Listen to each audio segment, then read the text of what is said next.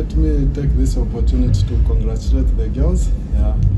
Uh, even myself, I didn't expect us to have uh, so many goals. Uh, I thank them for their effort. Uh, it's really good for, for us. Yeah. So we are left with the Mozambique. Yeah, they are physical, but they're a bit slow. So we'll try by all means to run more than them and get more goals. Uh, most of them have been active.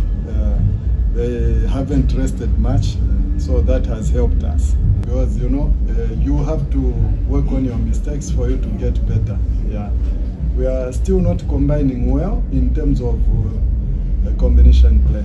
Yeah, we have to improve on that. Yes. So you're willing to improve for the next match tomorrow? Yeah, though time is not there. yes.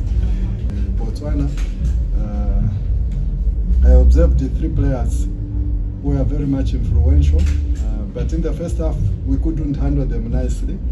Second half we talked to our players and they managed to handle those players. Yeah, because it's important to identify the opponent's strength.